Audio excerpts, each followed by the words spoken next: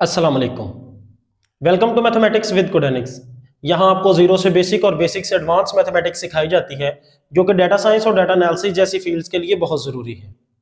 इस लेक्चर में हम देखेंगे कि आइडेंटिटी मैट्रिक्स क्या होता है। देखते हैं जी according to definition a square matrix with ones on the main diagonals and zeros elsewhere is called identity matrix अब इसकी डेफिनेशन को समझते हैं क्या है? इसमें सबसे पहले है जी, ये एक स्क्वायर मैट्रिक्स होता है with ones on the main diagonal and zeros elsewhere square matrix पढ़ चुके हैं कि ऐसा मैट्रिक्स जिसकी नंबर ऑफ़ रोज और नंबर ऑफ़ कॉलम्स सेम हो, वो हमारा मैट्रिक्स स्क्वायर मैट्रिक्स कहलाता है। तो इससे हमें पता चल गया कि यहाँ पे जो मैट्रिक्स आइडेंटिटी मैट्रिक्स होंगे, उनमें नंबर ऑफ़ रोज और नंबर ऑफ़ कॉलम्स जो होंगे, वो सेम होंगे। With ones on the main diagonal main diagonal क्या होता है कि फॉर एग्ज़ाम्पल मेरे पास एक मैट्रिक्स है A B C D E F G H I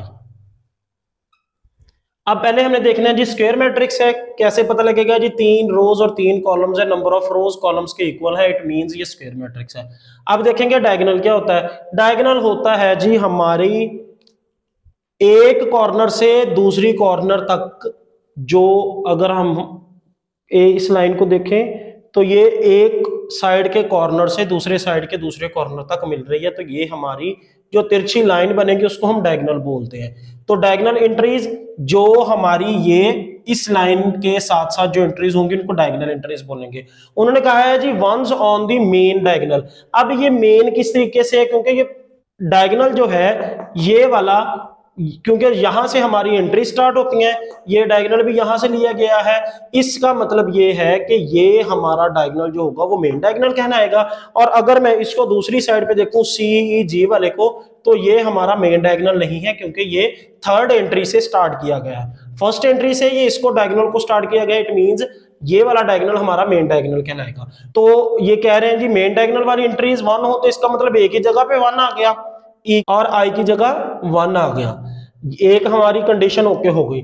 और बाकी कह रहे हैं एंड जीरोज एल्सवेयर इसका मतलब एल्सवेयर का मतलब ये है कि बाकी जो तमाम एंट्रीज की प्लेसेस हैं, वहाँ पे जीरोज आए।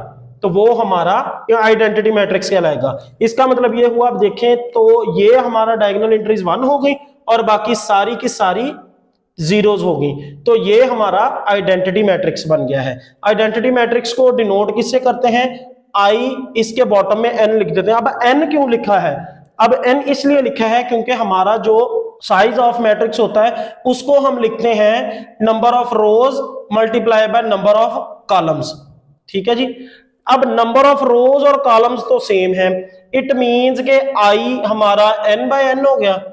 हम इन दोनों में से, क्योंकि ये नंबर्स हैं, दोनों सेम ये नंबर हैं हमारी काउंटिंग के, ना कि हमने उनको एडअप किया है, ये हमारे नंबर्स हैं। इसलिए थ्री बाय थ्री को हम एक दफ़ा ही थ्री लिख सकते हैं। इसका मतलब ये होगा कि इसमें तीन ही रोज है, तीन ही कॉलम्स है। इससे आई के नीचे थ्री लिखने से हमें कैसे पता लगेगा कि थ्री बाय थ्री का क्योंकि इसकी जो फ़र्स्ट कंडीशन है, वो ये है कि ये स्क्वायर मैट्रिक्स है।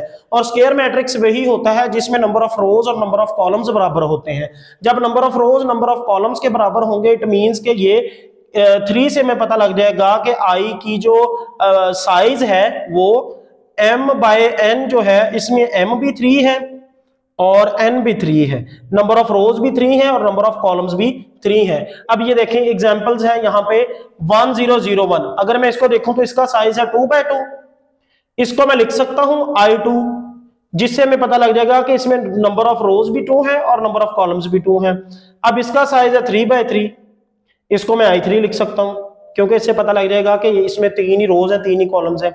अब अगर मैं इसको देखूँ तो इसका फोर बाय फोर है साइज़ मैं इसको आई फोर भी लिख सकता हूँ, क्योंकि इससे ही हमें पता लग रहा है कि जो इसके नंबर ऑफ़ रोज है, वही इसके नंबर ऑफ़ कॉलम्स है। जी तो मेरी कॉम के नौजवानों, इस लेक्चर में हमने ये देखा है कि आइडेंटिटी मैट्रिक्स क्या होता है, उसके लिए प्री रेकोजिट्स कौन सी हैं, उसको आइडेंटिटी मैट्रिक्स बोलने के लिए कि एक तो वो स्क्वायर मैट्रिक्स होगा, दूसरा उसकी मेन डायगोनल की एंट्रीज वन होंगी, और जो मेन डायगोनल के अलावा जो एंट्रीज हैं वो ज़ीरो होगी। इसको डिनोट किससे करते हैं?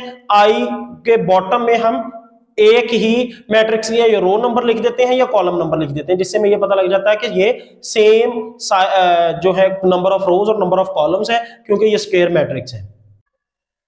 कोडेनिक्स को सब्सक्राइब करें और ऐसे और लेक्चर्स सुनने के लिए यूट्यूब पर और गूगल पर मैथमेटिक्स विद कोडेनिक्स सर्च करें। अल्लाह ने के बाद।